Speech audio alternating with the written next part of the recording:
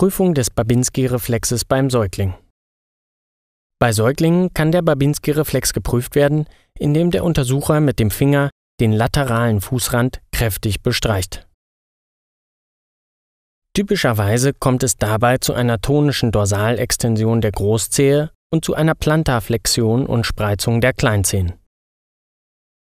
Das Auftreten des Babinski-Reflexes ist bei Säuglingen bis etwa zum zwölften Lebensmonat physiologisch.